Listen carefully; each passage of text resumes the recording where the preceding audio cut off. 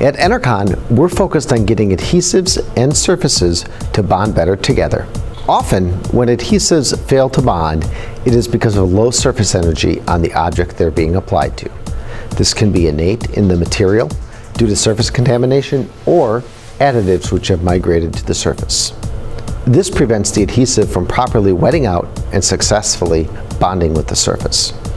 Enercon transforms these sleepy surfaces into high energy active bonding partners for your adhesives. Our treatment technologies clean, etch, and functionalize surfaces to improve wettability, increase surface energy, and enable stronger and longer lasting bonds.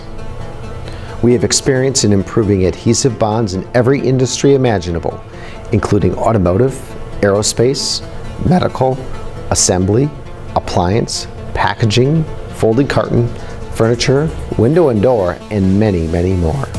Our wide range of plasma, flame, and corona technologies are available in a variety of discharge configurations to meet these industries' unique needs. Blown arc plasma for plastics, blown ion plasma for plastics and conductive surfaces, flame for large areas and high speeds, corona for rolled webs and films.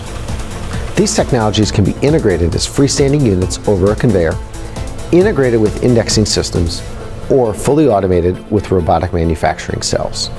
To help manufacturers evaluate how surface treating can improve adhesion in their operations, Enercon offers both in-plant and lab testing.